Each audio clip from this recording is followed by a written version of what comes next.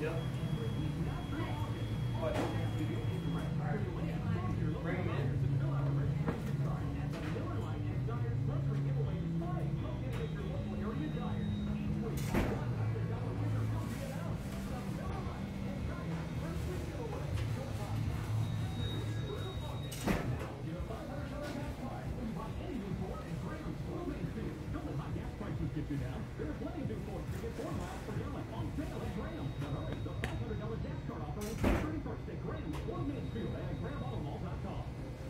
is Ray Romano.